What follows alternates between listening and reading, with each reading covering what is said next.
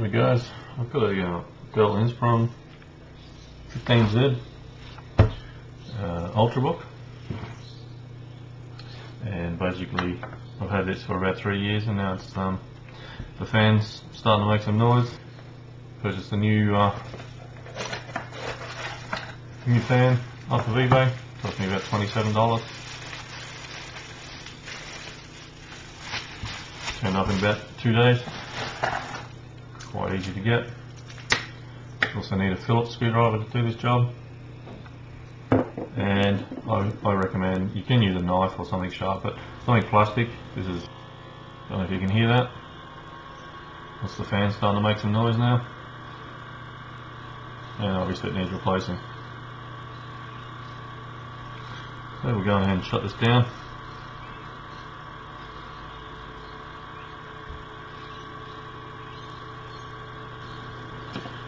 Right, guys, it's all shut down.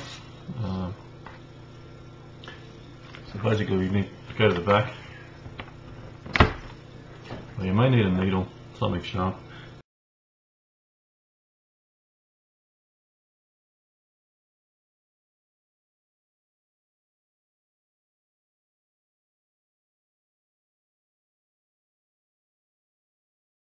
So go ahead and pull these screws out.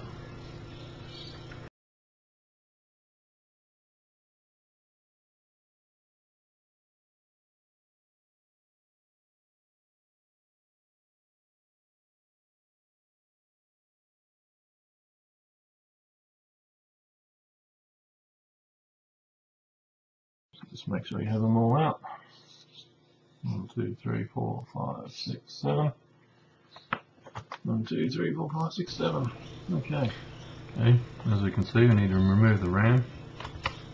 Simply pull that out of there. Quite simple. One only has one. You can put an extra one on this side, need be. There's a little clip here. This one here. Need to push that out. Hard drive will, uh, the DVD drive will come straight out like such. And then you'll find a couple of extra screws, or one extra screw here that needs to be undone.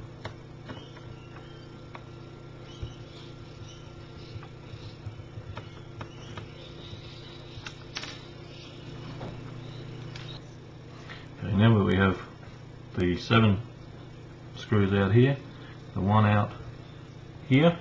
There's also one just in here which you want to undo.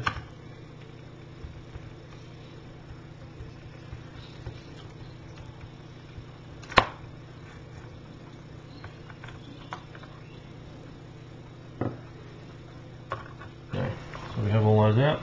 Now we're going to flip it over.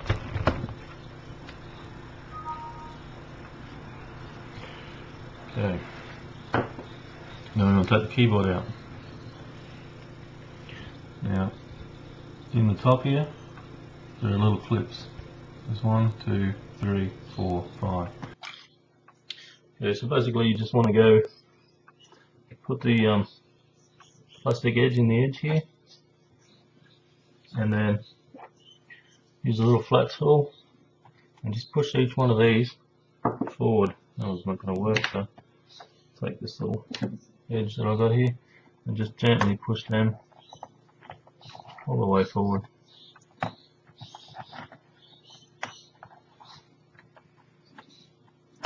Some down the side as well. Once you get them out.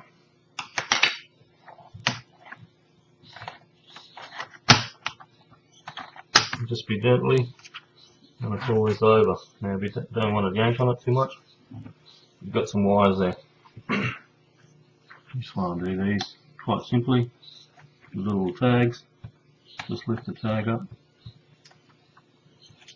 and then they pull out this tag up.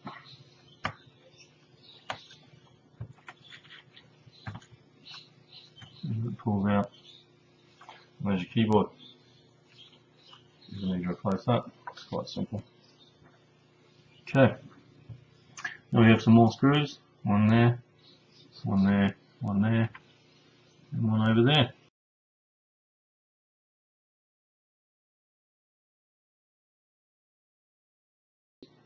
And we also have some extra, some more wires with more tabs. We just simply lift the tab up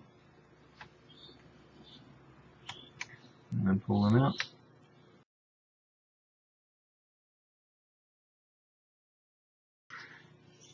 It is attached to the whole bezel at the front we want to pull off.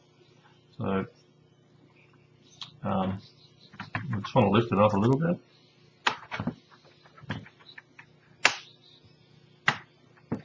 If you look at it from this edge, lift it up. You can see it's coming away at this point here. So then we just want to work our way around the edge and unclip that.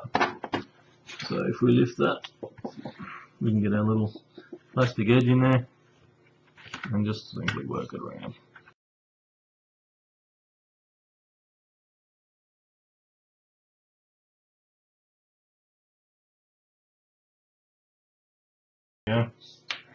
So there you go, the front bezel is off.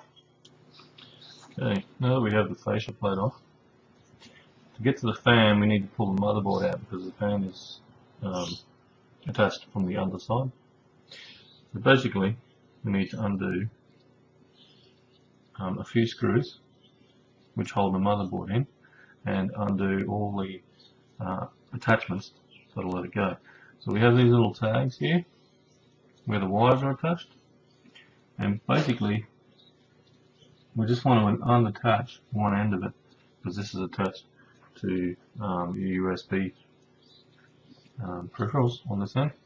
So basically just grab the tag, hold the motherboard so it doesn't lift up and then just pull it out. So that one's disattached. And we have two, this is our um, internet um, WAN, whatever you want to call it. There's two wires on that, they just basically lift off. You don't want to, you, can pull that off if you want to, but we don't want to do that. We have our video cable that runs our monitor, so it has a little cover on it. And then we can pull that out, that one pulls out. So that was disconnected. There's another cable that runs down through here. We just gently lift it out of that little, it's just taped on, lift the tape up, lift it out, and then disconnect it out of there. So that's disconnected. We have a screw here. Now undo that screw. It has an earth earth strap on it from that cable also. So we pull that one out. The video cable is now detached. We have two more screws here.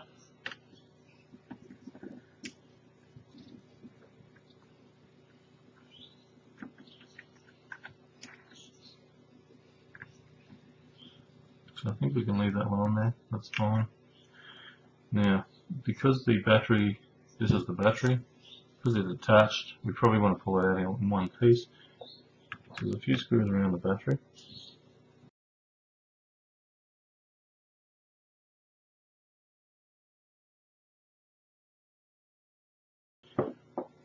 This is your speakers. It's attached by a little cable. Just disconnected.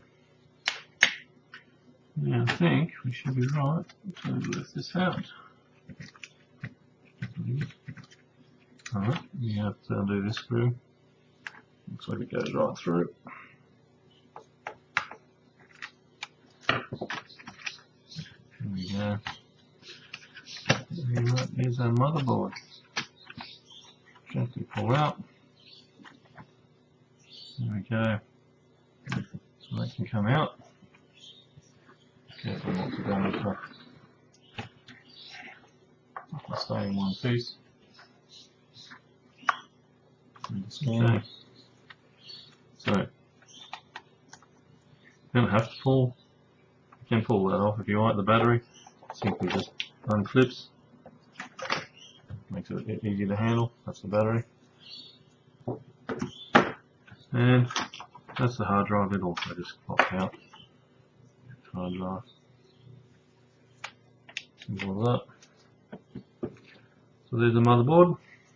That means from 15Z. Alright, let's disconnect the uh, fan. So first of all we want to just disconnect this little wire. Power wire to the fan, makes it work. There we go. Three screws.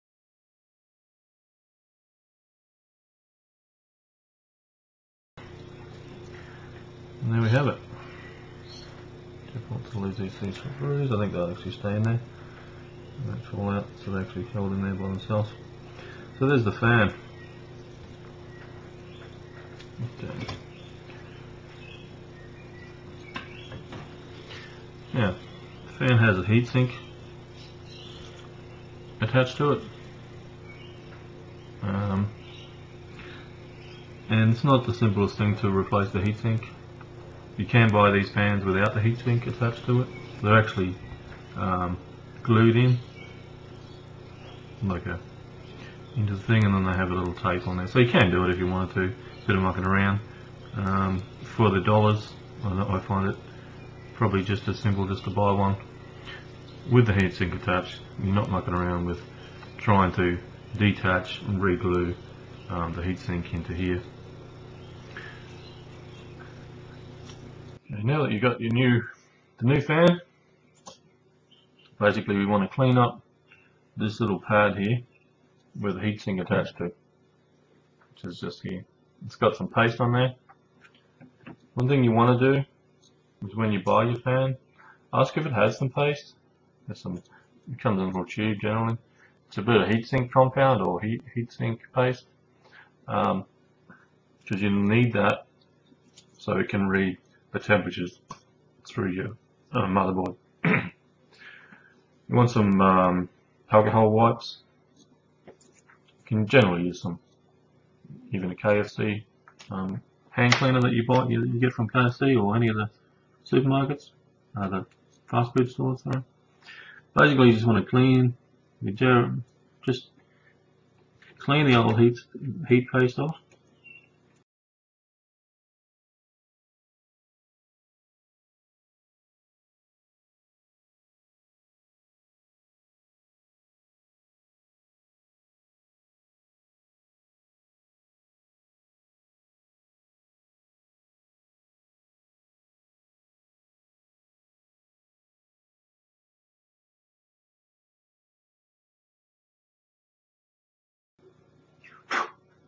There we go, nice and clean, as you can see. So, basically what you want to do is take a little bit of this paste, not too much. You don't need much of it. Whoops. And just you want to smear it a thin layer just on top there. Even layer. Try not to get any air bubbles in it.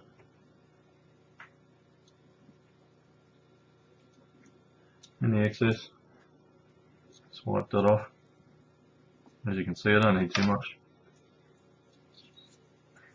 Clean off any overburden.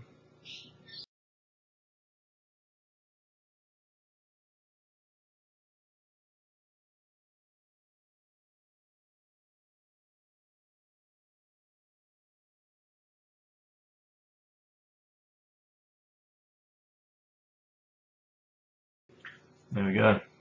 There you have a small layer on there. You can simply install your new heatsink. So just gently set it in the right position.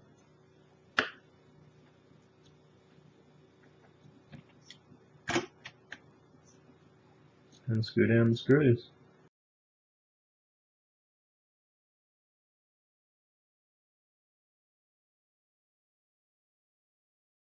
And there you have it.